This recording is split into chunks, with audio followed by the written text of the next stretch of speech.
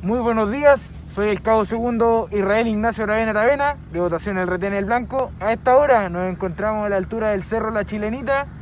El camino se encuentra con gran cantidad de nieve. Se le recomienda a los conductores de vehículos livianos la máxima precaución y a los vehículos de carga hacer uso de cadenas.